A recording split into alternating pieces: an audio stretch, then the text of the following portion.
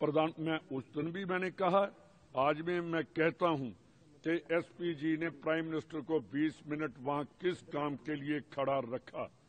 क्यों?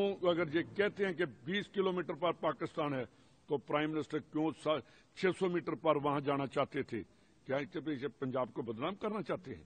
पंजाब को ये दिखाना चाहते हैं कि हम आतंकवादी हैं। इनके पास तो कोई गया ही नहीं। पता नहीं कहाँ खड़े थे किसान, खड़े भी हैं या नहीं। तो वहाँ तो इनके, आपके माध्यम से हमें पता चला, आपके चैनल चला रहे हैं कि मोदी जिंदाबाद, बीजेपी के झंडे थे। कहाँ वहाँ किसान का झंडा था? कहाँ किसी ने कहा मोदी मुर्दाबाद है? तो आप यार, जब देखिए, पंजाब को बात सुन लीजिए पहले। पंजाब को बदनाम करने की बात है। ठीक है, हमारे ऐसी हैं चीफ मिनिस्टर, ऐसी है, पर वो कमज़ोर नहीं है। हम उसके साथ हैं। पूरा पंजाब उसके साथ है। बदल जब मुगल जब मुगल, मुगलों वाली बात कर रहे हैं। प्राइम मिनिस्टर बिल्कुल। हम बात सुन लीजिए।